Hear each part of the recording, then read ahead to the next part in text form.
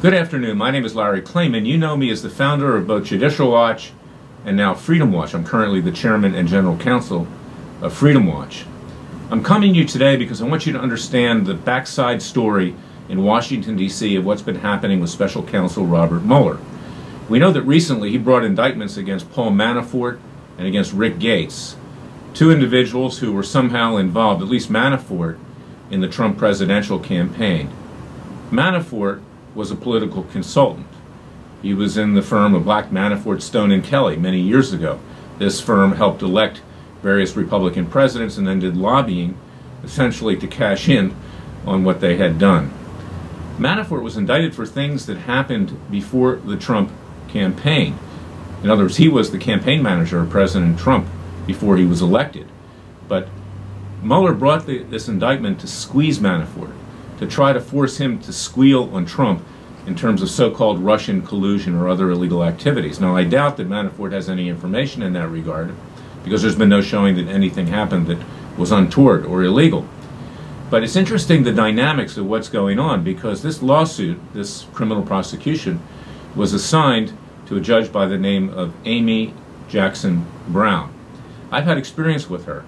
When we brought a lawsuit on behalf of the parents of Ty Woods and Sean Smith, who died at Benghazi with Ambassador Chris Stevens as a result of Hillary Clinton using an unsecure private email server, which gave up the coordinates in Benghazi of the ambassador, allowing the terrorists to find out where they were and kill everybody.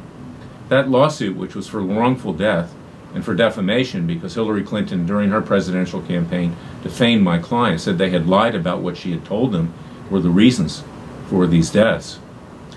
Amy, Amy Jackson Brown, this judge, dismissed the case on Memorial Day. Now, these are Gold Star parents. Why would any judge dismiss a case, even if there were valid grounds, which they're not, and it's up on appeal, and I'm confident it'll be reversed? Why would you do it on Memorial Day? Basically, to stick it to our clients and to do a favor for Hillary Clinton, who she obviously knows, and is hopeful that someday what she did will bring benefits in terms of maybe her being appointed to a higher post or who knows what.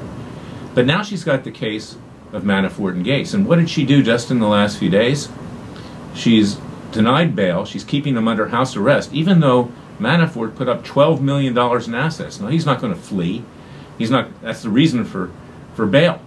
But yet, she's making a point, and she's trying to create an impression that these people are hardened criminals to, fall, to further her Democrat, pro Clinton, pro leftist agenda.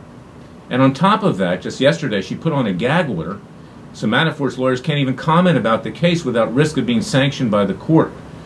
Civil contempt, maybe even criminal contempt. That's illegal. We have a First Amendment. You're allowed to defend yourself.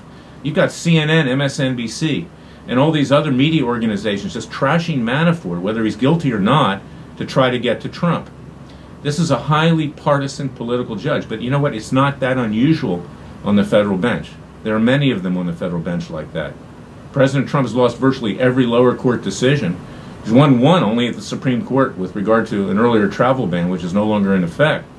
But no lower court judge, and 90% of them, approximately, are either Clinton or Obama appointees, has ruled in his favor.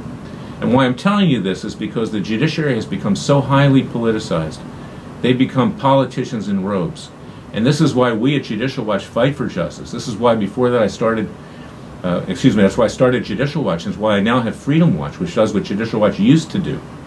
Because we have to stand up to this judicial tyranny. It's out of control. Without a judiciary that protects the American people, that serves as a check to politicians in robes, to tyranny in the legal system and throughout our government, we're left defenseless. Go to freedomwatchusa.org, contribute to our cause.